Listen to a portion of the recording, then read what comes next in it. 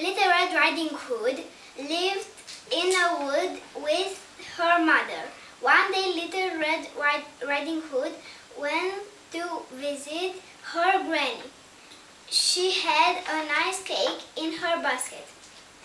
On her way, Little Red Riding Hood met a wolf. Hello, said the wolf. Where are you going? I'm going to see my grandmother. She lives in a house behind two trees. And uh, the wolf ran to Granny's house and ate Granny up.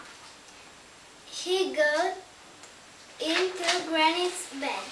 A little later, Little Red Riding Hood reached the house. She looked at um, the wolf. Granny, Granny, what big you have! All the better to see you with, said the wolf. Granny, what big ears you have! All the better to ha you hear you with, said the wolf. Granny, what big nose you have!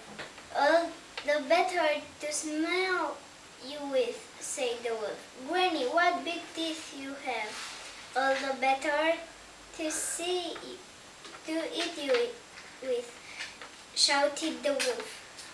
A woodcutter was in the wood. He had a loud scream and ran to the house.